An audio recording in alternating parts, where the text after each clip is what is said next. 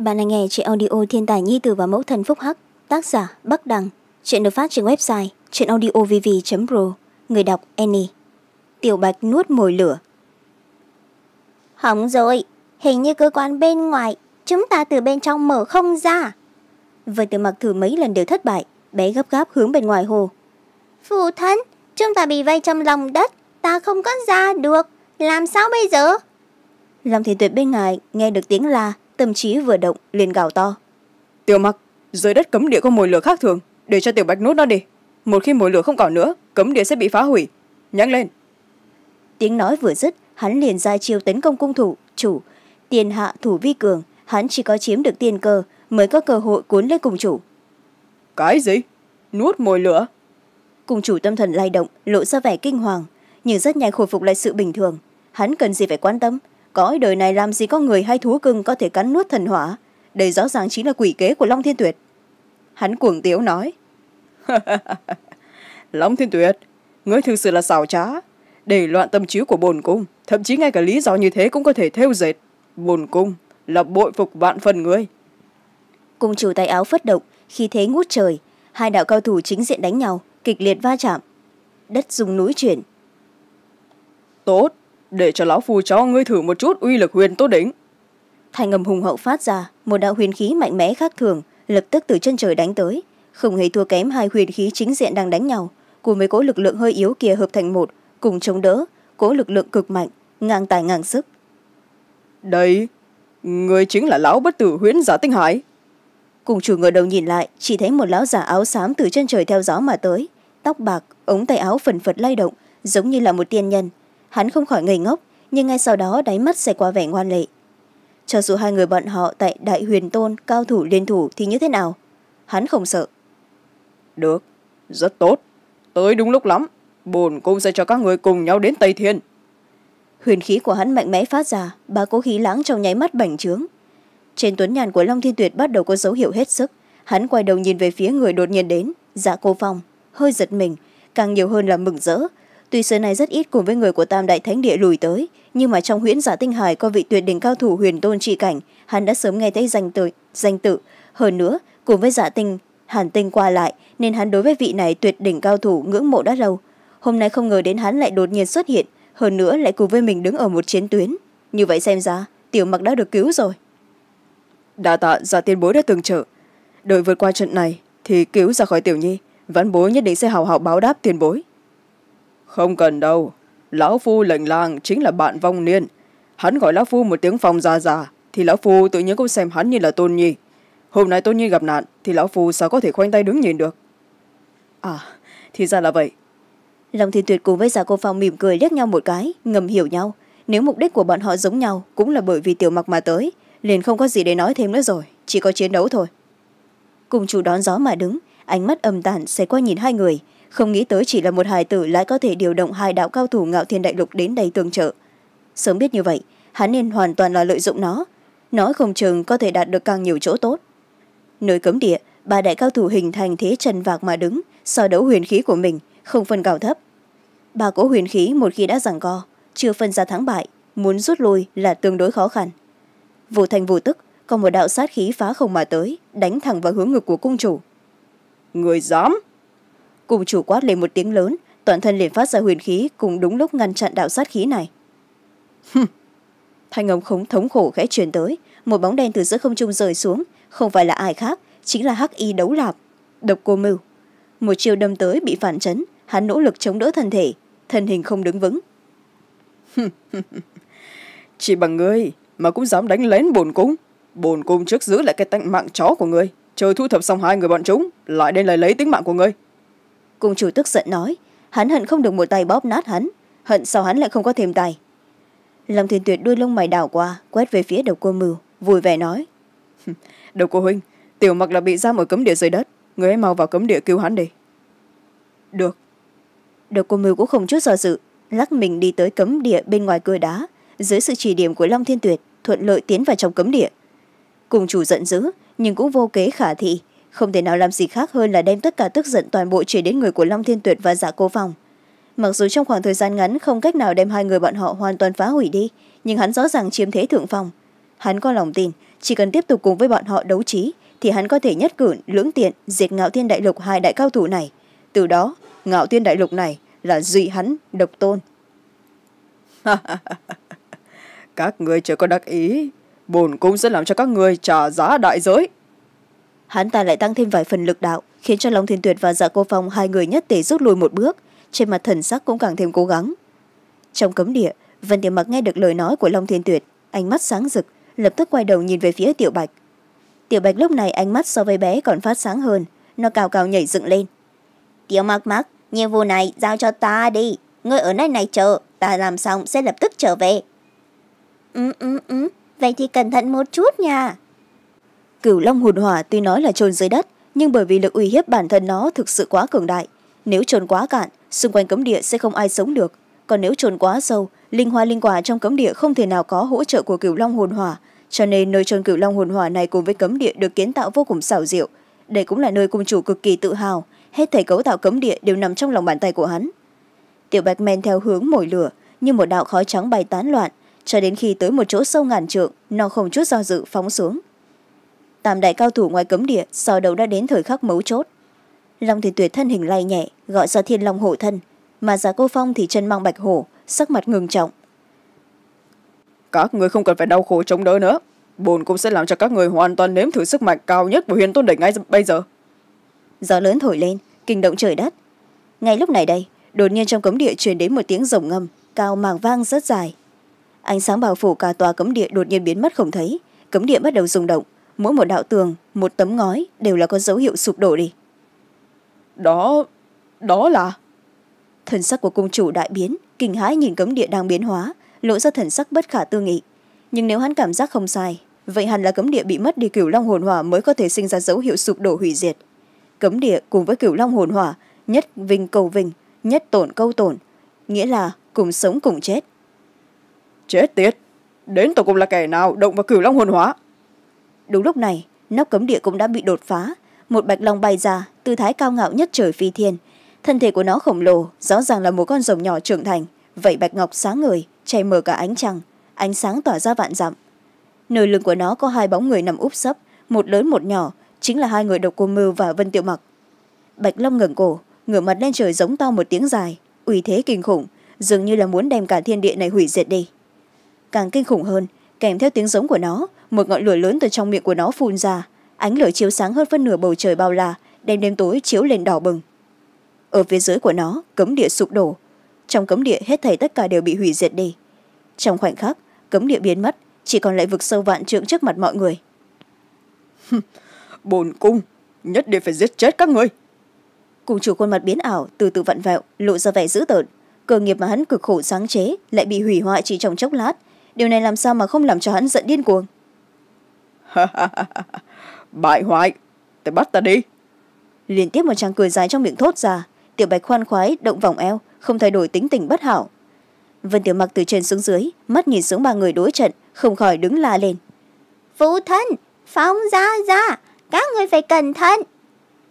Tiểu bạch người mang theo tiểu mặc đi trước đi. Long thiên tuyệt liếc một cái quan sát đến biến hóa của tiểu bạch lộ ra vẻ vui mừng vân tiểu mặc lắc đầu chẳng những không đi ngược lại thúc giục tiểu bạch. Tiểu bạch công kích hắn đi dùng lửa thiêu chết hắn. Tiểu bạch tự nhiên là nghe tiểu mặc mặc thân thể lao xuống hướng cùng chủ đi tới. Một ngọn lửa lớn mang theo nhiệt độ và năng lượng kinh khủng kéo dài đến mấy trượng vị trí của ngọn lửa lại là mặt của cung chủ. Đáng chết! Cung chủ vội vàng rút lui nhảy về phía sau bay khỏi phạm vi công kích của ngọn lửa. Bởi vì cung chủ rút lui long thiên tuyệt và dạ cô phong hai người cũng nhanh chóng rút lui về phía sau mới đứng vững được. Song song hít một hơi thật sâu thực sự đã quá nguy hiểm. Giết! Thánh cùng lạm sát kẻ vô tội phóng hỏa đả thương người. Chúng ta nên vì thân nhân đã chết báo thù. Phải rồi báo thù! Tất cả mọi người theo ta hôm nay thầy sẽ giết sạch thánh cung. Giết sạch! Vô số tiếng hò hét từ bốn phương tám hướng tụ lại. Cả thánh cung trong nháy mắt đang lầm vào trong biển lửa đào quang kiếm ảnh huyết sắc như mưa. Cùng chủ từ chỗ cao nhìn đến tình cảnh của thánh cung lúc này khuôn mặt vặn vẹo càng thêm dữ tợn chán nổi gân xanh hơi thở quanh người càng thêm cuồng bạo. Ra ra người của chúng ta đều tới. Góc tây bắc một đạo thân ảnh màu xanh ra trời đang đi tới. Đi theo hắn mà tới có thêm mười mấy tên cao thủ trang phục thống nhất. Nhìn kỹ rõ ràng chính là những cao thủ của huyễn giả tinh hải mà người lên tiếng chính là tôn nhi dạ cô phong dạ hàn tinh. Long huynh chúng ta lại gặp mặt rồi. Dạ hàn tinh dưng đôi lông mày hướng về phía long thiên tuyệt cười lớn một tiếng thần thủ nhanh nhẹn tiểu sái như gió. Long thiên tuyệt ngoắc ngoắc đầu khản giọng nói. Dạ huynh tối để trả nợ sao? Cần gì phải vội vã như vậy? Dạ hàn tinh khóe miệng cò quắp. Kẻ này gặp mặt là đòi nợ quá là không nể mặt. Dù sao thì mình cũng là cứu nhi tử con trai hắn mà đến mà. Long thiên tuyệt tiếng nói vừa dứt lại nói. Bất quá nhìn dạ huynh cùng với các huynh đệ của huyễn giả tinh hải vì tiểu nhi mà tới ơn cao hơn trời. Vậy nợ nần lần trước xem như xóa bỏ đi. Ừ. Vậy còn xem được tâm tình của dạ hàn tinh cuối cùng cũng chuyển biến tốt. Ngân phiến trong tay, tát một tiếng mở ra, thoải mái nhàn nhã lay động. Cùng chủ hí mắt nhìn hết thầy xung quanh, sắc mặt ẩm lãnh. Phần lớn thái tử trừ lão dưới tay của hắn toàn bộ đã bị long thiên tuyệt hạ độc. Những người đó mới là thực lực chiến đấu chính của thánh cung. Hắn biết hôm nay đại thế đã mất, nếu ở lâu thêm, mặc dù không đến nỗi thảm bại, nhưng mà cũng không thể chiếm được phần tốt. May là hắn vì kế hoạch lớn, nghiệp lớn, những năm gần đây lục tục đem thế lực của thánh cung khuếch trường đến ngũ quốc nhất là những tháng gần đây. Lực lượng thi khôi của hắn nhiều năm nuôi dưỡng đã toàn bộ chuyển rời đến ngũ quốc. Hôm nay cho dù thánh cung mất đi hắn cũng không hề sợ. Được. Tốt. Rất tốt. Bồn cũng sẽ nhớ cái sự xỉ nhục ngày hôm nay. Mỗi người các người bồn cũng sẽ hào hào mà thu thập. Côn bằng. Kèm theo tiếng kêu một con côn bằng dương cánh xuất hiện ở bầu trời đêm. Từ bên phía tây gào thét mà tới. Lòng thiên tuyệt kinh ngạc nhìn con côn bằng kia trong lòng dâng lên nỗi bất an cho tới này hắn biết cung chủ có hộ thú thực lực siêu cường hộ thân, nhưng cũng chưa từng thấy qua diện mục thật của nó. Hắn cho rằng là một viễn cổ thần long, bởi vì thần long đàn ở trong long chỉ vốn là một viễn cổ thần long, lại không nghĩ là hắn đã đoán sai. Thú sùng của cung chủ lại là một con côn bằng viễn cổ. Côn bằng là một loài thú lai giữa chim và cá. Truyền thuyết con loài cá tên là côn, không rõ dài mấy vạn dặm, ngang mấy vạn dặm. Một ngày nó bay vào đến tận trời, biến thành một con chim khổng lồ lớn vài dặm, gọi tên là bằng chính vì như vậy, đó là một con côn bằng đến từ viễn cổ. Chán của nó có ân ký. Cổ xưa ân ký kia hắn đã từng thấy ở một quyển sách cổ nhìn thấy. Hình thể của nó khổng lồ, so với côn bằng của hách liên tử phong thì lớn hơn đến ba lần. Phải rồi, côn bằng, hách liên tử phong, cung chủ. Lòng thiên tuyệt đột nhiên lắc đầu, điều này không thể được, nhất định là hắn đã suy nghĩ nhiều rồi. Hoàng thần trong nháy mắt, cung chủ đã đến trên lưng của côn bằng, người ngang rời đi. Chỉ còn lại âm thanh nguyền rủa của hắn, thực lâu không rời các người hãy chờ đợi cho bồn cung bồn cung nhất định sẽ làm cho các người trả giá. Không có ai đuổi theo. Thực lực của cung chủ tuyệt không phải là bọn họ có thể chống lại được. Muốn chân chính trừ đi cung chủ này còn phải bàn bạc kỹ hơn. Phụ thân phóng ra ra bại hoại chạy vân tiền mặc hư vẫn chỉ vào hướng cung chủ đi xa kêu lên vui mừng. Tiểu mặc mặc bại hoại nhất định là bị tiểu bạch hù dọa chạy rồi. Tiểu bạch vẫy đuôi rồng dùng sức vỗ vỗ xuống đất mọi người thấy tiểu bạch đùa giỡn, không khỏi ồn ào cười to. Đừng xem nó hình thể thoạt nhìn giống rồng, tưởng là trưởng thành, nhưng mà vừa mở cái miệng ra thì lập tức lộ ra nửa điểm cũng không có phòng thái chững chạc của một con rồng trưởng thành phải có. Một đêm này, nhất định là không yên ổn. Âm thanh đào kiếm va chạm, tiếng kêu, tiếng là cũng không có ngừng lại. Cho đến ngày hôm sau, cả thánh cung cùng với tòa thánh đảo mới rốt cuộc khôi phục lại sự yên lặng. Mọi người sau khi thương nghị, quyết định đem chọn thánh đảo trả về chủ cũ một lần nữa giao cho anh mộc gia tộc và lưu xuyên gia tộc. Bởi vì hai đại gia tộc bọn họ dù sao ở trên đảo sinh sống gần mấy trăm năm, thánh đảo đã sớm thành nhà bọn hắn. Là căn cơ của bọn hắn, vốn thuộc về bọn hắn từ lâu rồi. Đệ tử thánh cung đều tử vong. Về phần, thái thượng trưởng lão chúng độc kia bị gia cô phong áp giải về tam đại thánh địa, tiếp nhận tam đại thánh địa chế tài. Đến đây, thánh đảo khôi phục lại sự yên lặng và an tường của nó, dân chúng lại có thể tiếp tục an cư lạc nghiệp. Bờ biển thánh đảo, người huyễn giả tinh hải lần nữa trở lại thuyền cùng lên bờ tiễn biệt Phong ra ra, tiền mặc không muốn cùng với người tách ra đâu. Vân tiền mặc gắt gào ôm dạ cô Phong, khóc bù lu bù loa, không chịu cùng với hắn chia đôi. Tiểu mặc, ra ra cũng là không nỡ xa người. Dạ cô Phong bị đứa nhỏ làm cho xúc động, mặc kệ đám thuộc hạ trước mặt, nước mắt cũng tuồn đầy mặt. Mọi người thấy một màn như vậy, vừa cảm động, lại bất đắc dĩ. Tất cả mọi người chuẩn bị sắp xếp xong, đều đợi màn chia tay này chấm dứt. Dạ hàn tình khóe miệng ê ẩm. Ra ra, ta mới là tôn tử của ngài. Làm sao cho tới bây giờ cô không thấy ngài không nỡ xa ta? Hừm ngươi á cái thằng nhóc không có tim không có phổi. Sao có thể cùng với tiểu ngoan ngoan của ta so sánh được? Dạ cô phong khinh thường chừng mắt liếc hắn một cái lòng lòng nước mắt cúi đầu nhìn vân tiểu mặc. Tiểu ngoan ngoan người không nỡ xa ra ra như thế thì cùng với ra ra về nhà. Dạ hàn tinh đau lòng không ngớt. Quả nhiên hắn ở trong mắt của gia gia không có địa vị. Ừ nhưng mà không đúng nếu gia gia thực sự là đem tiểu mặc về vậy thì bọn họ chẳng phải là thành cùng thế hệ à? Rối loạn bối phận rồi. Này long huynh hay là ngươi đem bảo bối nhà ngươi mang về đi. Bằng không gia gia của ta sẽ mất hết mặt mũi với đám thuộc hạ đấy. Long thị tuyệt nghe giả cô phong nói muốn mang tiểu mặc đi huyễn giả tinh hải không khỏi nóng lòng. Khi nhi vẫn chờ hắn đem nhi tử bình an trở về gặp nàng. Làm sao có thể để cho nhi tử đi theo người khác về nhà? Tiểu mặc mẫu thân của con đang chờ chúng ta trở về. Chẳng lẽ con không nhớ mẫu thân ừ tiểu mặc nhớ mẫu thân nhiều. Vân tiểu mặc hít mũi một cái, cuối cùng từ trên người của giả cô phong buông lỏng tay, cái miệng nhỏ nhắn nói. Phong ra ra tiểu mặc không thể cùng với ra ra trở về được. Chờ tiểu mặc ra mắt mẫu thân, chờ mẫu thân đồng ý, thì tiểu mặc sẽ trở lại đi thăm phong ra ra. Các người, mỗi người một người đều là người xấu. Trăm phương ngàn kế là muốn chia rẽ ông cháu chúng ta chứ gì? Các người đúng là người xấu giả cổ phong ôm chặt tiểu mặc, hướng về phía dạ hàn tinh cùng với long thiên tuyệt chừng mắt ác độc liếc lại. Vẻ mặt oán hận, thực sự giống như là nhìn kẻ địch. Hai người thấy vậy lạnh run hết cả gáy. Đây là đệ nhất cao thủ tam đại thánh địa trong truyền thuyết sao? Thực sự đúng là người được người tam đại thánh địa tôn sùng là thủ lĩnh tối cao. Lệnh ra lập tức thì thi hành. Dạ cô phong hay sao? Dạ hàn tinh cùng với long thiên tuyệt, hai người lần nữa liếc nhau, nhất tề nhận định, bọn họ hôm nay nhất định là gặp quỷ rồi. Trận chia tay này, ước chừng hao phí mất hai canh giờ mới kết thúc cáo biệt người của huyễn giả tinh hải xong, lại lục tục đám người lưu xê nhất hùng và anh mộc đại lang nhất, lưu nhất luyến chia tay. Thiên long tôn giả, tiểu công tử, hoàn nghênh các người ngày sau quang lâm tới thánh đảo thánh đảo lại là vĩnh viễn chào đón các người. Tiểu công tử, người tặng chúng ta nhiều bảo vật như thế này, cho chúng ta gây dựng lại gia viên. Chúng ta không có gì báo đáp. Ngày sau nếu có cần chúng ta, thì xin cứ chuyển tin tới. Chúng ta dù gì là vượt lửa qua sông cũng sẽ không chối từ đâu vừa tiểu mặc mím môi cười ngẩng đầu nhìn hướng phụ thân bọn họ cũng là đến lúc phải rời đi rồi.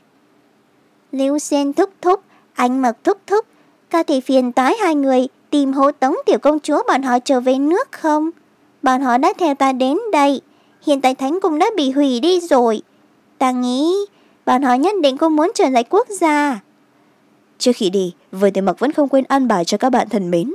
Những người khác cho dù không quan tâm nhưng hiền viên nghĩa nhi và tây môn huyền phong hai người lại theo bé tới. Bé không thể bỏ mặc được. Đám người lưu sư nhất hùng và anh mộc đại lang sảng khoái đáp ứng. Vậy thì tiểu bạch chúng ta về nhà. Tiểu bạch lần nữa biến thân hóa thành tiểu bạch long dũng mãnh phi thường. Nó cử động trên thân thể ở dưới ánh mặt trời càng thuy uy vong hủy vũ. Tiểu mặc mặc đang ngồi xong chưa? Ta mới lên đường rồi. Đúng lúc này thân ảnh của tiểu bạch khẽ động bay về nơi chân trời trải rộng để lại một đạo ánh trắng toát lên cùng tiếng cười vui vẻ ở phía sau của nó còn đi theo là mười mấy con thần long. Khí thế ngút trời làm cho mọi người phải khiếp sợ không khỏi thầm than thở trong lòng. Tràng diện này không khỏi quá phong cách quá kích thích lòng người. Long thiên tuyệt nhìn đội ngũ phù trường càng bay càng xa hắn bất đắc sĩ cúi đầu cười khẽ đồng thời triệu hồi ra thiên long cùng với đầu cô mưu ngồi chung thiên long đuổi sát đội ngũ phía trước. Máu thần con tới đây.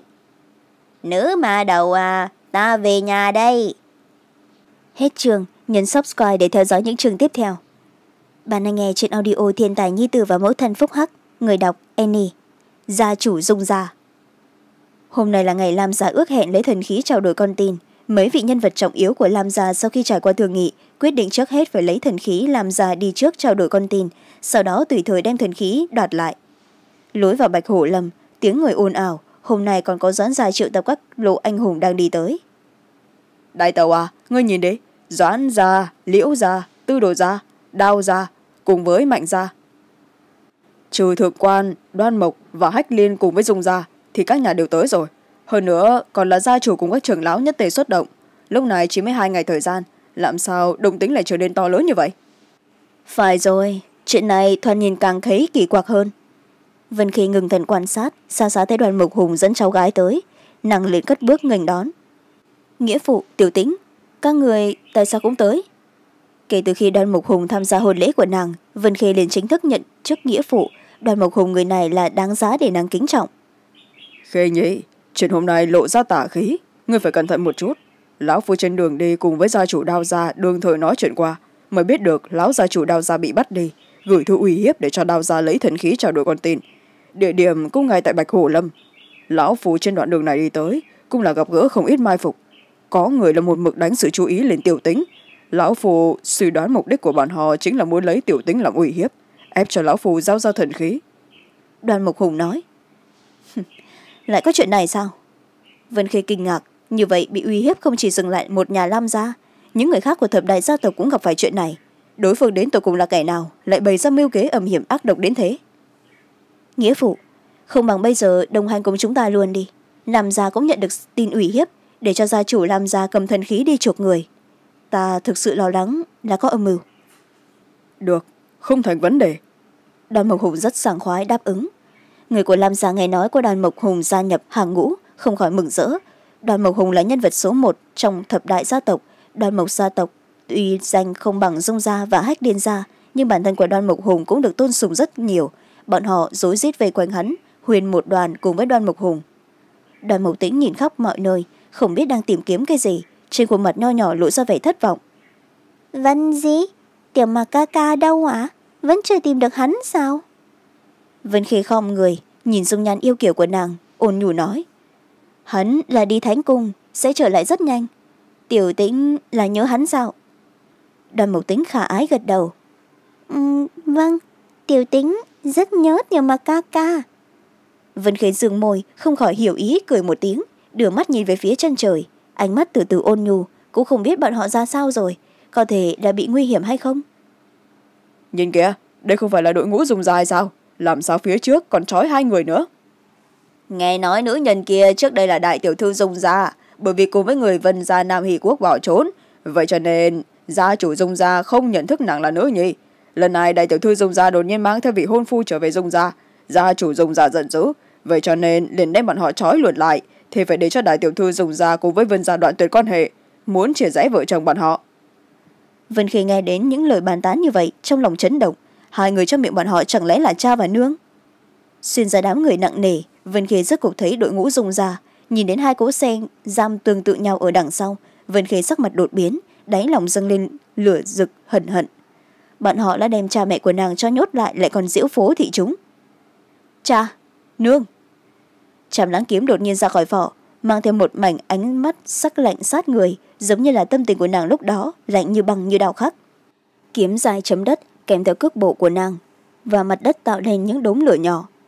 Vân giật và vân phu nhân từ trong xe tù ngẩng đầu thấy được vân khê trong đám người đi ra hai người nhất tề hô to. Khê nhỉ không nên vọng động. Biểu muội à bình tĩnh lại. Dùng thiếu hòa cưỡi lên một con ngựa trắng đứng trong đội ngũ thấy vân khê giờ phút này đằng đằng sát khí không khỏi lên tiếng ngăn cản. Người chính là nghiệt trùng của bọn hắn.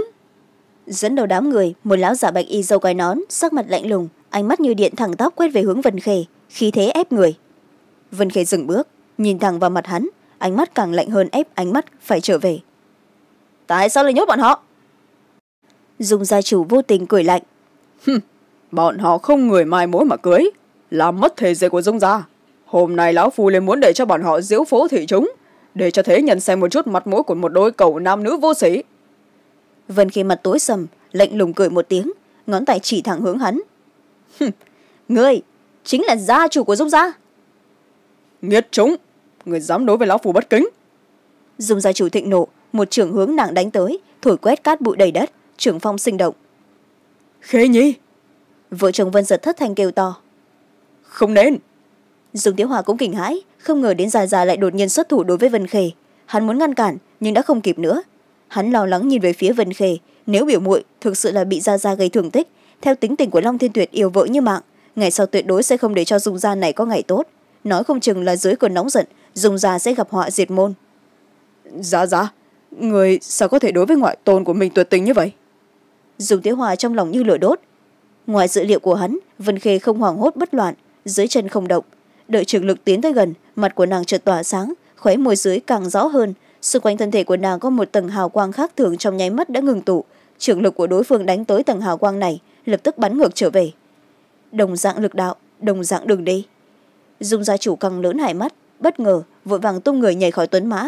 Trưởng phòng đền thuận thế đánh ở một gốc cây cổ thụ, lập tức cây ngã xuống. Mọi người vây xem cúi đầu kinh hô trường lực mạnh mẽ như vậy, nếu là đánh ở trên thân người, thì người nọ hẳn là phải chết không thể nghi ngờ. Bọn họ chỉ nghĩ trường lực kia là vân khê xuất ra ánh mắt của mọi người đều sợ hãi nhìn nàng. Chỉ có bản thân vân khê đáy lòng phát rét. Nàng sử dụng chính là phản vệ thuật. Đối phương dùng bao nhiêu lực đạo, liền phản vệ trở về bấy nhiêu lực đạo. Người nọ thực sự là ông ngoại của nàng không? Một trường vừa rồi của hắn rõ ràng là muốn lấy tính mạng của nàng. Còn nửa điểm thân tình ở trong đó hay sao? Dùng gia chủ rơi xuống dưới ngựa, bất khả tư nghị ngó chừng vân khê nàng lại có thể ngăn cản được một trường của hắn. Hơn nữa còn đem nguyên vẹn trường lực kia trả về. Nàng ta đến tột cùng là kẻ như thế nào? Nghiệt chúng người dám trả đòn! Vân khê cất tiếng cười to. Nàng vạn lần không nghĩ tới đường đường là gia chủ của dung gia lại là người buồn cười như thế này. Hắn muốn động thủ đả thương người lại không cho người khác động thủ. Thế gian này làm gì có cái đạo lý đấy? Khó trách ban đầu hắn phải đối hồn phản đối hồn sự của cha mẹ làm cho vân phu nhân ôn nhu như nước cùng, cùng với hắn phải đoạn tuyệt quan hệ hai mươi năm cũng không thèm trở lại dung gia người không biết đạo lý cùng với lãnh khốc vô tình vậy thì xứng đáng là ngoại công của nàng hay sao? Người cười cái gì? Dung gia chủ bị nàng cười đến phiền lòng nóng nảy không khỏi giận dữ mắng mỏ. Vân khê ngừng lại tiếng cười ngừng mắt nhìn hắn. Ta là cười bản thân ngươi lãnh huyết vô tình không xứng đáng là một phụ thân cũng không xứng đáng là một ngoại tổ phụ. Càng thêm không xứng đáng làm nhất gia chi chủ. Nàng khinh miệt cười xoay người bước tới xe tù. Trước xe tù, các đệ tử dùng giá rối rít tiến tới, bao quanh tứ phía, không cho nàng nhích tới gần một bước. Vân khê đứng cách chúng đệ tử, hướng về phía cha mẹ bên trong xe tù. Cha, nương, là hài nhi làm liên lụy đến các người. Các người nếu không phải là vì cứu tử mặc, cũng sẽ không trở về dung gia bị vũ nhục như thế này. Cha mẹ, chịu sự nhục nhã này đều là do hài nhi vô dụng. Hài nhi ở chỗ này, hướng các người lễ bái. Đa tạ các người đã hết lòng bảo hộ hài nhi và tiểu mặc hai đầu gối của nàng chấm đất hướng về phía vợ chồng vân giật bên trong xe tù đập đầu quỷ lạy bọn họ sớm đã biết nếu ở lại dung gia sẽ phải chịu vũ nhục như thế nào nhưng bọn họ không lùi bước dứt khoát trở lại dung gia. Bọn họ làm như vậy để cầu một phần thân tình tình nghĩa như thế làm cho nàng phải cảm động vô cùng. Khê nhi à người không cần phải như thế. Chúng ta là người một nhà người nhà gặp nạn thì tự nhiên là phải giúp các người một tay. Vân phu nhân nhìn nữ nhi lãnh ngạo như vậy hướng về phía bọn họ quỳ lạy trong lòng dậy sóng mắt đẹp đã ươn ướt một mảnh. Có một nữ nhi như vậy cho dù bọn họ bị vũ nhục hơn nữa nàng cũng không cảm thấy khổ đau. Vân giật nghẹn ngào vốn là bởi vì nhục nhã đầu vẫn cúi thấp giờ phút này cũng cao cao vùng lên. Đúng vậy đó khề nhi. Người một nhà là tự nhiên tương trợ vinh nhục cùng nhau. Cha ở cùng với nương có thể với ngươi làm chút chuyện cảm thấy rất cao hứng. Khuất nhục nho nhỏ này căn bản có coi là gì đâu. Đại tẩu. Long thiên thần nhìn vân khê như vậy trong lòng rất khó chịu nghĩ thầm nếu đại ca ở chỗ này nhất định sẽ không để cho đại tẩu gặp cảnh ngộ như thế. Dung gia chủ người dám đắc tội với người của lăng thiên cung chúng ta có biết kết quả sẽ thế nào không? Cái gì? Lăng thiên cung? Chuyện dung gia của ta cùng với lăng thiên cung là có cái gì liên quan? Dung gia chủ lực chú ý chuyển rời trên người của long thiên thần thần sắc thịnh nộ không giảm. Hắn đường đường là gia chủ của dung gia cư nhiên bị hậu bối chỉ vào mặt chỉ trích. Khẩu khí này làm sao mà hắn nuốt trôi long thiên thần chỉ vào vân khê. Nàng ấy chính là phu nhân của đại ca ta. Đại ca của ta chính là cung chủ của lăng thiên cung. Ngươi đối với phu nhân của cung chủ lăng thiên cung ta động thủ, lại còn nhốt trai mẹ của nàng ấy. Còn nói hay không liên quan đến lăng thiên cung nữa? À thì ra nàng chính là nữ nhân của long thiên tuyệt. Nàng ở chỗ này, vậy lâm thiên tuyệt ở đâu? Long thiên tuyệt có thể hay không cũng ở đây. Trong đám người, không biết là kẻ nào kinh hô, mọi người bắt đầu rối rít xung quanh bàn luận, lộ ra thần sắc kinh khủng cùng chủ của lăng thiên cung, long thiên tuyệt, những chữ này đủ để cho bọn họ phải kinh hãi. Tuy bọn họ đều là nhân sĩ danh môn tránh phái, khinh thường cùng với tà phái làm bạn, nhưng đối với lăng thiên cung, bọn họ trong lòng có một loại sợ hãi không thể nói lên lời. Nếu không phải là vạn vật bất đắc dĩ, bọn họ không muốn cùng với lăng thiên cung trở mặt, bởi vì bọn họ từng dưới tay của long thiên cung chịu không ít thiệt thòi, vẫn còn in sâu vào trong trí nhớ. Dùng gia chủ sắc mặt ẩm lãnh, ngó chừng khuôn mặt của vân khê lãnh nhiễm bên kia, cười lạnh. Tốt! Quả nhiên là thượng bất chính hạ tất loạn. Nếu người trên không ngay thẳng, đứng đắn, thì những người bên dưới cũng sẽ như thế thôi. Mẹ của người không biết xấu hổ theo người bỏ trốn. Người gả cho tà phái yêu nghiệt người người phỉ nhổ. Các người quả nhiên cũng là cùng một ruột. Một người so với một người là càng không biết xấu hổ. Những lời này của hắn nhục nhã người vô cùng, chẳng những nhục mạ mẹ con của nàng, còn nhục mạ luôn cả long thiên tuyệt. Vân khê trong lòng giận dữ, hai nắm đấm chặt, từ trên mặt đất đứng dậy một đạo mông quang khí thế ép người thẳng tắp nhìn vào hắn. Người có bản lĩnh. Lặp lại lần nữa. Lặp lại lần nữa thì thế nào? Lão phù sợ một con nhóc như ngươi à? Dùng ra chủ dương đông mày giọng cực kỳ ngang ngược cản rỡ. Người cùng với mẹ người đều là tiện nhân không biết liêm sỉ. Làm người tốt không làm làm chuyện trộm gà bắt chó. Lão phu nghe nói người sáu năm trước cũng đã có đính hôn tại ám kết châu thai. Làm cho cười cho thiên hạ lại thành nữ nhân của long thiên tuyệt người đến tội cùng là có biết hay không biết hai chữ hổ thẹn xấu hổ. Cô không biết người đến tội cùng là sử dụng thủ đoạn dụ dỗ gì, lại để cho long thiên tuyệt cám tâm tình nguyện vì ngươi mà đeo lên đỉnh đầu nón xanh. Dùng gia chủ một lời ngữ khí khi đã nói, muốn thu lại cũng không được. Ngôn ngữ kia là muốn bao nhiêu ác độc liền có bấy nhiêu.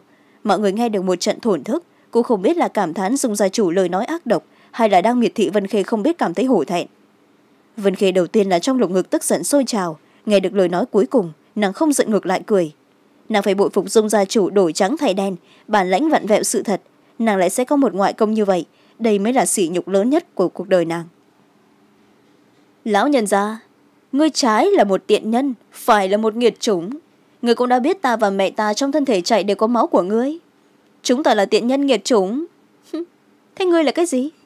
Ngươi chẳng phải là thủy tổ tiện nhân nghiệt chủng hay sao? rất giỏi. Lấy tu vi lão nhân ra người như thế, nói vậy từ dưới nửa người chế tạo ra tới mọi người cũng là tiện nhân. Nghiệt trùng tinh phẩm, không nghi ngờ chút nào.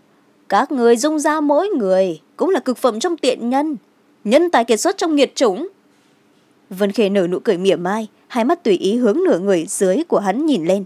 Phe này ngôn ngữ độc hơn, đem dùng ra từ trên xuống dưới mắng cho một cái. Cái này gọi là có qua có lại nếu không thì là vô lễ vô cùng.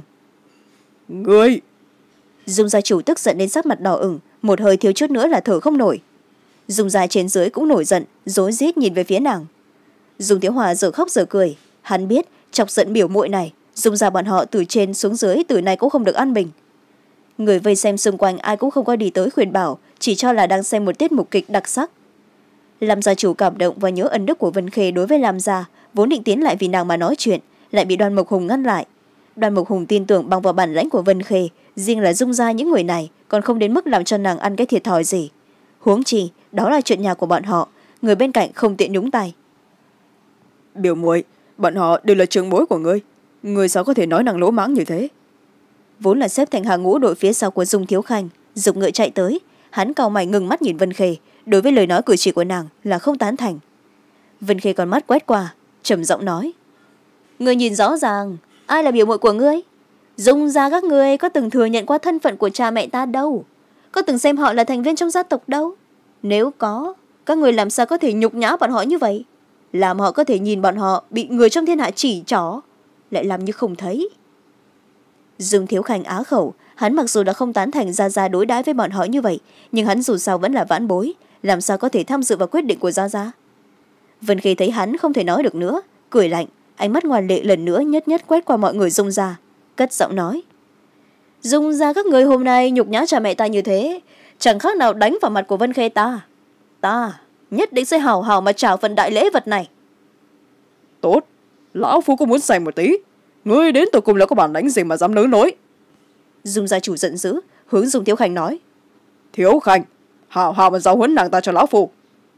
Vân khê vừa nghe khuôn mặt trầm xuống hàn quang quanh người càng mãnh liệt mặc dù một mình tới đây nhưng người ta đã khi dễ đến trên đầu của cha và nương thì nàng nếu là lùi một bước cũng không phải là vân khê. Ra ra à dùng tiếng khanh lộ ra vẻ khó xử. Hắn tự biết không phải là đối thủ của vân khê nhưng đó cũng không phải là lý do hắn muốn ứng chiến. Bởi vì trong lòng xem nàng là biểu muội hắn làm sao có thể đối đãi với biểu muội của mình xuất thủ? Làm sao? Lời của lão phu đã nói người còn không làm à? Dùng gia chủ lạnh lùng chừng tăng thêm ngữ điệu dùng thiếu khanh liền giật mình nhăn nhó nhìn về phía vân khê do dự không ngừng. Đồ vô dụng! Thiếu hòa ngươi ra giết cái nghiệt chủng này để tránh nàng ta hạ nhục danh vọng của dung gia lần này đổi lại lại làm khó dùng thiếu hòa. Dạ dạ ta đánh không lại biểu muội đâu. Người hay là sai cao thủ khác đấy dùng thiếu hòa cái đầu lắc lắc trực tiếp nhát gan một lần. Hắn cũng không muốn mạo hiểm đắc tội với biểu muội đừng nói chọc nàng đã là hậu họa vô cùng phía sau của nàng còn có một long thiên tuyệt còn đáng sợ hơn. Hắn cũng không muốn ngày sau chịu không nổi. Người các người tất cả đều là một lũ thùng cơm. Dung gia chủ ánh mắt quét qua mọi người dung ra tiện tay chỉ một người trung niên nam tử trong đội ngũ đôi mắt ra vẻ tàn nhẫn. Hồ người đi giết nàng. Người cùng nàng không có bất cứ liên hệ máu mủ gì cũng không có cần cố kỵ. Chỉ cần người có thể giết chết nàng ta thì lão phu lập tức ban họ dung cho người xem ngươi là một phần của dung gia tên trung niên nam tử được gọi là hồ kia ngay vậy nhất thời mừng rỡ. Hắn cho tới này cũng chỉ là gia nô dung gia thân phận kém người một bậc. Nhưng nếu thực sự có thể mượn cơ hội này mà leo lên từ đó trở thành người nhà dung gia thì đây là một cơ hội rất tốt. Hắn có thể nào bỏ qua được? Vâng gia chủ. Thuộc hạ nhất định sẽ không để cho ngài thất vọng. Bên cạnh hồ có một người trung niên nam tử khác lên tiếng. Chả không thể được. Đây chính là thân sinh nữ như của muội muội là ngoại tôn nữ của ngươi. Cho dù ngươi không có thích nàng cô không thể đả thương tánh mạng nàng được. Vân khê nghe vậy, không khỏi nhìn nhiều hắn thêm một lần. Người này mặc dù đã bước vào trong trung niên, nhưng loáng thoáng có thể thấy được hắn khi còn trẻ vô cùng tao nhã. Dùng mạo của hắn cùng với dung thiếu hòa cực kỳ tương tự. Nếu nàng đoán không sai, người này hẳn là phụ thân của dung thiếu hòa. Nàng đối với người cậu này ấn tượng tốt hơn mấy phần. Mặc dù người dung ra gầy sự, nhục nhã trà nương nàng như vậy, nhưng cuối cùng còn có mấy người lương tâm không có mất. Nàng từ trước đến giờ có thù báo thù, có ân báo ân. Người nào đối với nàng tốt thì nàng ghi nhớ trong lòng. Người nào nhục nhã nàng, thường tổn thân nhân của nàng, thì nàng cũng sẽ vững vàng ghi nhớ trong lòng. Cửu cửu, đa ta đã tương trợ, ta sẽ nhớ trong lòng. Bất quá, đã có người nghĩ muốn chịu chết, thì ta chắc chắn sẽ thành toàn cho hắn. Dùng mậu xuân kinh ngạc nhìn về phía nàng, không biết nàng tại sao lại tự tin như vậy. Cứ nhận định mình nhất định có thể chiến thắng được hồ. Phải biết rằng, hồ tuy chỉ là một hộ vệ của dung gia, nhưng thiên từ tập võ của hắn không chút nào kém hơn người khác thậm chí cũng có vài vị trưởng lão đánh không lại hắn. Trong lòng của hắn rất lo lắng xong nhìn thấy thần thái ngạo nghễ của nàng, hắn lại có thêm một tia tin tưởng, không chừng nàng sẽ đánh thắng hồ. Hết chương, nhấn subscribe để theo dõi những chương tiếp theo. Bạn đang nghe chuyện audio thiên tài, nhi tử và mẫu thần phúc hắc, người đọc annie. Xui khiến, người dung ra đổi nơi làm việc. Chảm lãng kiếm vẽ một đường ánh sáng mạnh mẽ giữa không trung, mũi kiếm nhắm thẳng vào hồ, lông mày hướng lên tạo thành một độ cong, lãnh ngạo vân khê trầm giọng nói. Ngươi thực sự là muốn giết ta? Hồ trần trở liếc mắt nhìn dung gia chủ lấy lại bình tĩnh kiên định nói. Đúng gia chủ ra lệnh cho thuộc hạ giết thì thuộc hạ liền giết. Vân khê thần sắc lạnh lùng lời nói trầm xuống. Rất tốt. Vậy là đây ngươi tự tìm. Tiếng nói vừa dứt thân ảnh của nàng như mũi tên rời cung xuyên thẳng tới đối phương. Hồ kinh hãi bước nhanh rút lui trong tay trường kiếm đang muốn rút ra trước mắt lại thấy một đạo hàn quang nhanh chóng chém thẳng vào ót của hắn. Vô số tiếng kinh hồ nhất tề phát ra, cả bạch hồ lâm chỉ một thoáng đã lầm vào trong không khí quái dị. Ở bên trong đôi mắt lạnh lùng của vân khê hiện ra một thân ảnh nam tử dưới kiếm quang lạnh lẽo bị chia ra làm hai, huyết nhục mơ hồ văng khắp nơi. Một nửa thân thể đầy máu bay lên cao, rơi trên ngọn cây. Một nửa thân thể khác bay vào bên trong đội ngũ dùng già. Các cô gái bị làm cho sợ là thất thanh, dùng tiêu tiêu trực tiếp ngất đi. Dù cho là các cao thủ của dung gia cũng nhịn không được dùng mình nàng lại một kiếm bổ đôi cơ thể, chém thành hải khúc. Đối phương ngay cả cơ hội nhìn cũng không có. Đây là thực lực bậc nào? Dù tiêu hòa vẫn biết thiền tư tập võ của nàng vượt quá người thường, song mới vừa rồi, hắn rõ ràng nhìn thấy nàng cách xa năm sáu thước. Vậy mà chỉ trong thời gian nháy mắt, thân này của nàng đã đến trước hồ. Đây là thần pháp cùng với tốc độ thế nào? Võ nghệ nàng tinh tiến, hoàn toàn là vượt xa khỏi tưởng tượng của hắn. Ánh mắt của mọi người từ thân thể máu chảy đầm đìa, từ từ chuyển rời lên người của vân khê nàng ta hoàn toàn toàn thân là sát khí mười phần, phảng phất như một pho tượng tu la, không cho bất luận kẻ nào tới gần.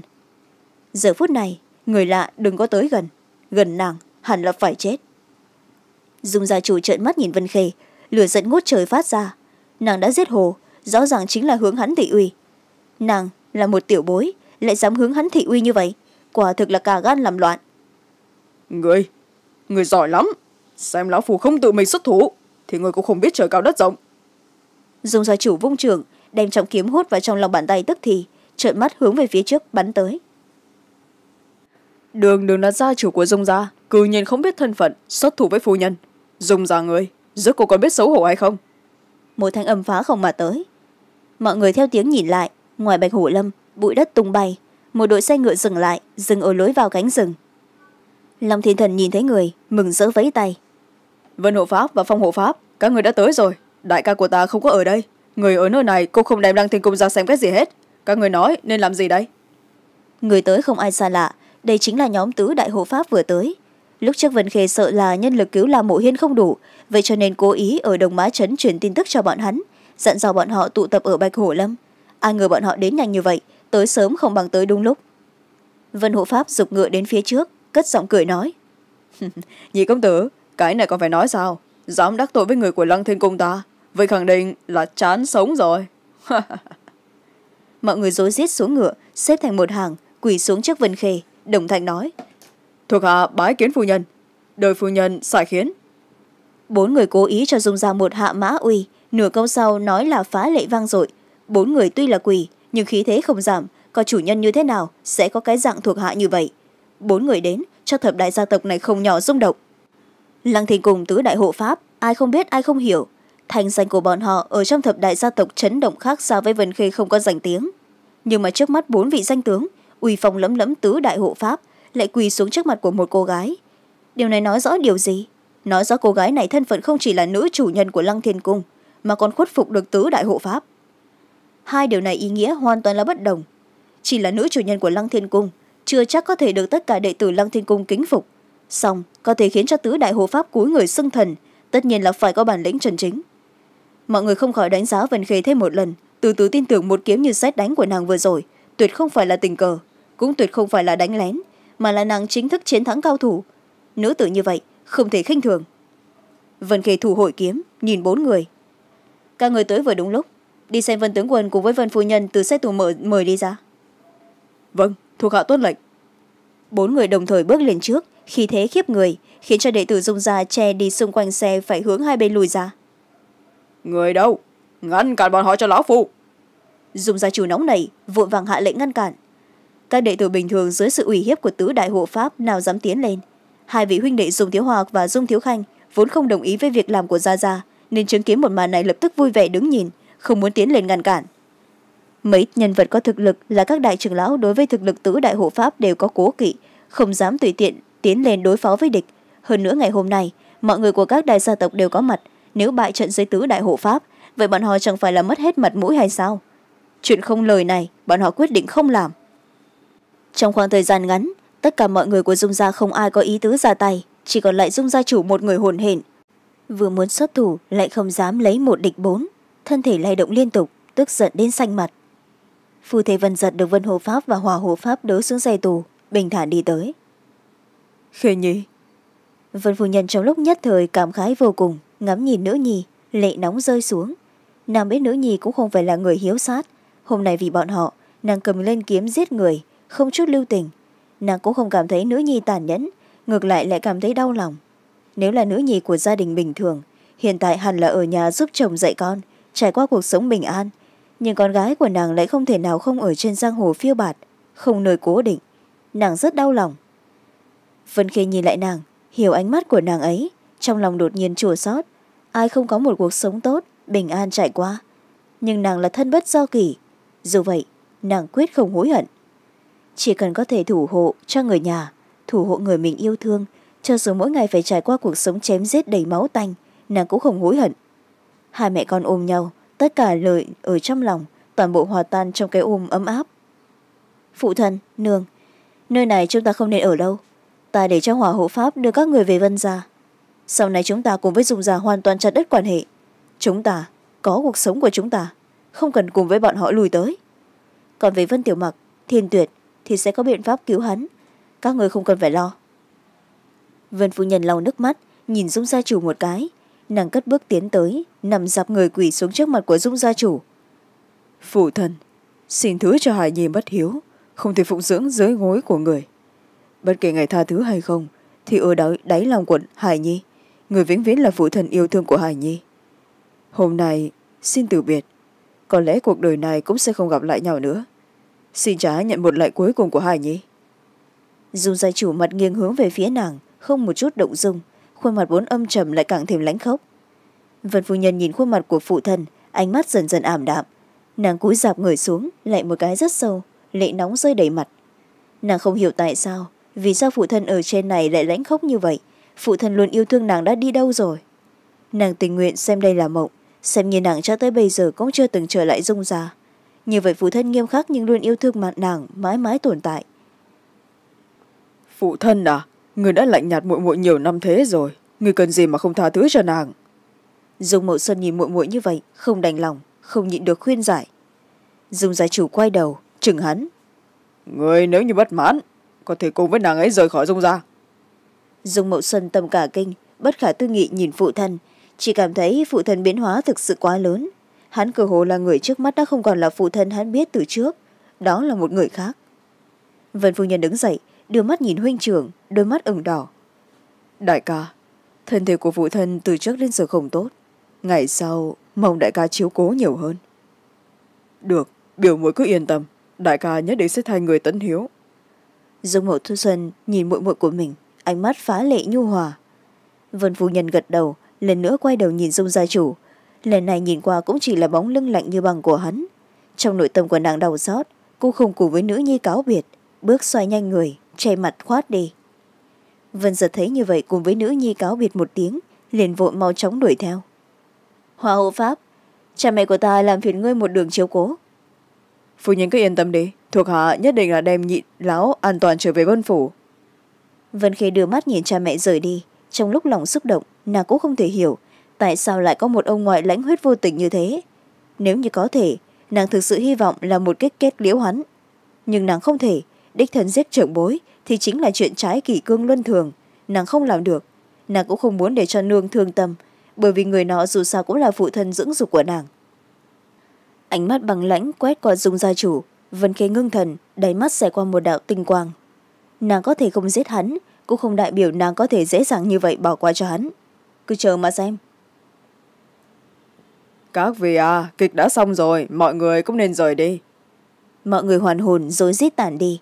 Mọi người không còn có quyền mất mục đích chính của ngày hôm nay tới bạch hổ lâm. Đợi người còn lại rời đi gần hết vân khê cố ý đến gần dung gia chủ hướng mọi người dung dài nói. Chư vị lăng thiên cung ta gần đây đang chiêu mộ nhân tài khoảng là một trăm người mọi người, nếu có ý muốn đầu nhập vào lăng thiên cung, đại môn lăng thiên cung ta luôn mở rộng chào đón.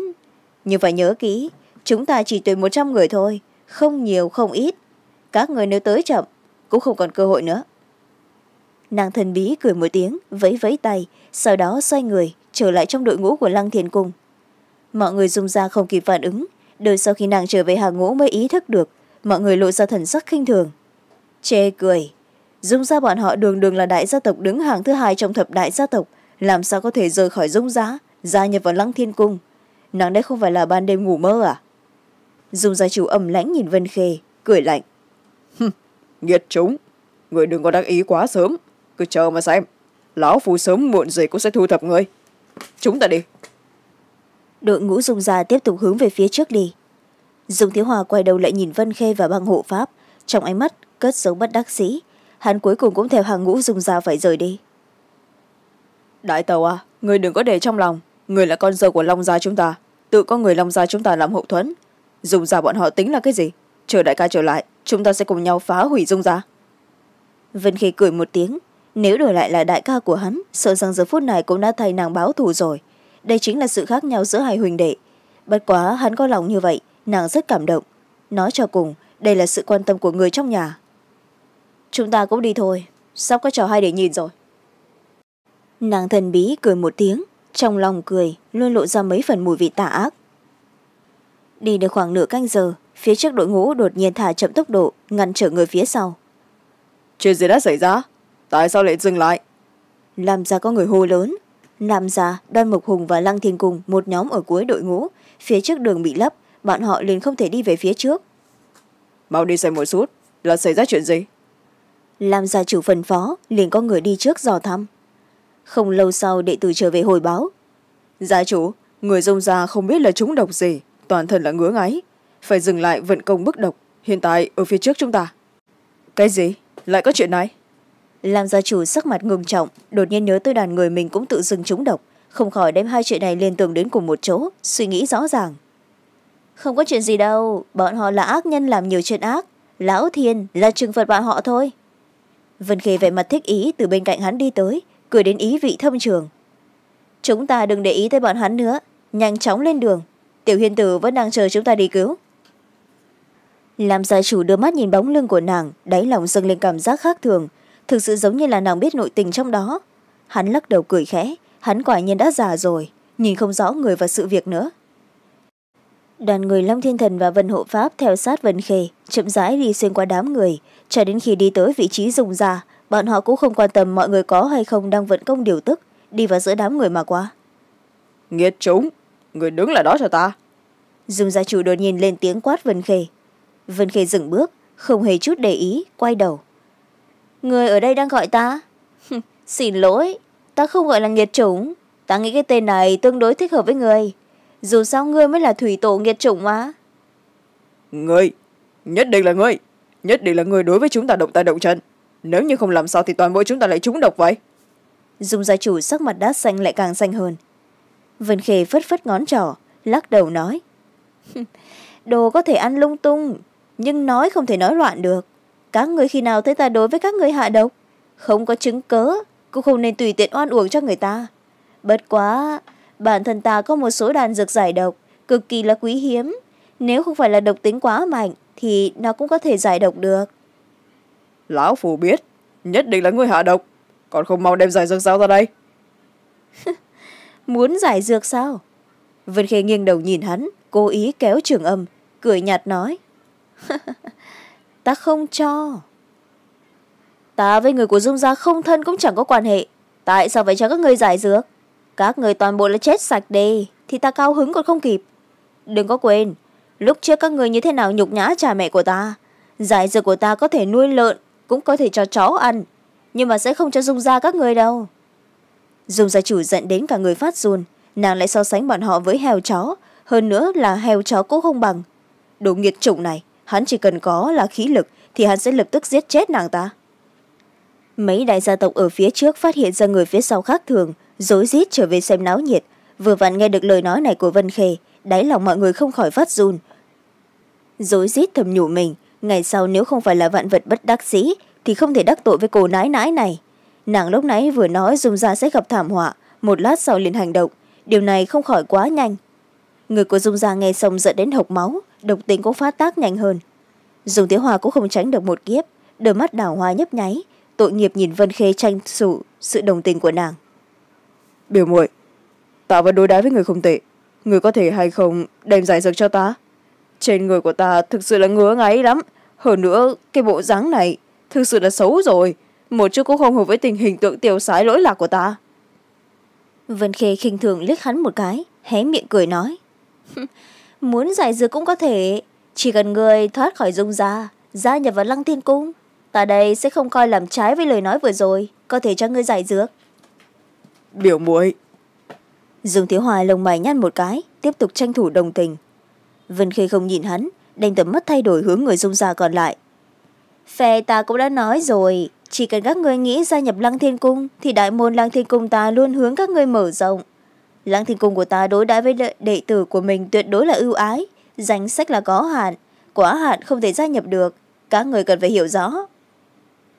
Người đừng có học được chưa ý chúng ta sinh ra là người dung gia chết cũng là quỷ dung gia tuyệt đối không khuất phục. Phải, chúng ta thả chết, chứ không chịu khuất phục đâu. Một số người của dung gia tính tình tương đối kiên cường, rối rít lên tiếng cùng chống lại nàng. Vân khê vẻ mặt bình thản nhún nhún lông mày, hướng bọn thủ hạ phất tay. Nếu bọn họ đã không muốn giải dược, vậy thì cũng không liên quan đến chúng ta. Đi thôi mọi người nhất thời ngẩn ra còn tưởng rằng nàng sẽ tiếp tục dây dưa lại không nghĩ rằng nàng lập tức rời đi. Vậy làm sao được? Nếu như nàng đi thật vậy độc trên người bọn họ làm sao được giải? Bọn họ cũng không phải là không thử dùng thuốc giải độc mang theo. Đáng tiếc những giải dược này hoàn toàn vô dụng một chút công hiệu cũng không có. Điều này càng làm cho bọn họ thêm lo lắng. Biểu muội chờ một chút. Ta là người người nhà tương lai của lăng thiên cung. Không biết có tính là một phần tử của lăng thiên cung không? Dương thiếu hòa mang theo nụ cười tà khí tà tà liếc về phía bằng hộ pháp. Ánh mắt kia muốn bao nhiêu mập mờ liền có bấy nhiêu. Bằng hộ pháp bị hắn nhìn như vậy, chợt nhớ đến điều gì? Khuôn mặt lãnh nhược như băng, trong nháy mắt phát hồng. Nàng tức giận chừng mắt nhìn dùng thiếu hòa mấy cái, quay đầu đi chỗ khác, làm như không thấy hắn. Vân khê ở giữa hai người dò xét qua một vòng, đôi lông mày gảy nhẹ, đổ ra một viên giải dược đưa cho hắn. Được rồi, nhìn người sắp ở rể của lăng thiên cung thì cho ngươi một viên giải dược nàng vốn không muốn làm khó hắn, hiện tại có cớ cho hắn giải dược, coi như là nước chảy thành sông. Phàm là người đối với nàng tốt, thì trong lòng nàng luôn ghi nhớ. Dùng thiếu hòa mừng rỡ, vừa muốn đưa tay đi đón, vân khê đột ngột rút tay lại, cổ tay vừa chuyển liền trực tiếp đem giải dược ném vào trong miệng của hắn. Như vậy lấy không sợ người của lung dùng ra lấy thân phận tới ép hắn giao ra giải dược. Hoặc là vì hắn một lòng hiếu tâm mà đem giải dược truyền tặng cho trưởng bối. Như vậy thì kế hoạch của nàng chẳng phải là hỏng từ trong trứng nước sao? Nàng mới không ngu như thế đâu. Vậy cho nên trực tiếp đem giải dược ném vào trong miệng của hắn. Thuốc vào miệng lập tức tàn biến. Hắn muốn ói ra cũng không ói nổi. Dùng thiếu hòa ngẩn ngơ, cảm giác được giải dược đã tàn ở trong miệng của mình. Chân mày khẽ nhăn, hơi có chút ảo não. Vốn một giải dược này là hắn thay phụ thân cầu xin, nhưng bây giờ thì không có. Thực sự là nhức đầu. Hắn đoán được biểu muội sẽ không cố ý gây khó khăn cho hắn. Vậy cho nên hắn vốn được định lấy trước là một giải dược để cho phụ thân giải độc, miễn đi đau đớn ai ngờ không như mong muốn, hắn đã tính sai một bước. Vân khê đôi mắt đẹp chuyển động, quét nhẹ qua bên người của hắn, đem tầm mắt rơi vào trên người của dung mậu xuân. Nàng thản nhiên cười một tiếng nói, biểu ca, người sắp trở thành một phần tử của lăng thiên cung ta. Như vậy thì phụ thân của người đương nhiên cũng nên coi là nửa người của lăng thiên cung chứ. Cứu cứu.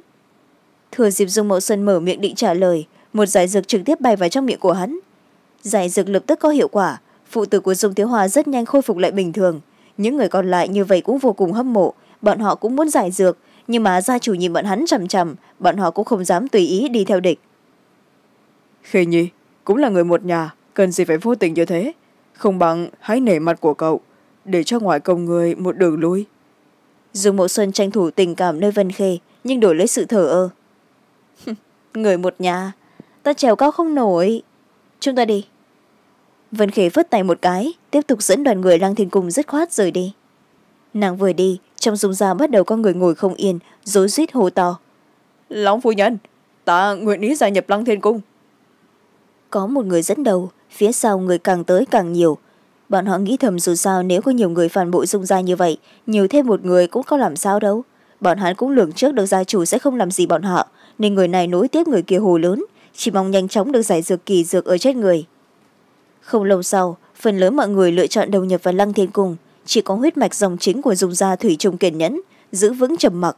Bọn họ mới là huyết mạch chân chính của dung gia. Nếu đến bọn họ cũng bỏ đi sự lựa chọn đầu nhập vào lăng thiên cung. Như vậy, dung gia xem như sụp đổ. Nhưng nếu bọn họ không có lựa chọn, như vậy chờ đợi bọn họ chỉ có vô cùng vô tận đau đớn. Dung gia chủ nhất thời nổi giận dẫn đến cả người lay động. Ngay cả câu nói cũng không nói ra. Người, các người, rất tốt vân khê dừng bước, quay đầu nhìn hắn, khóe môi nở một nụ cười thắng lợi. Nàng cũng muốn say một chút, bọn họ rốt cùng là còn có thể chống đỡ bao lâu? Hết trường, nhấn subscribe để theo dõi những trường tiếp theo.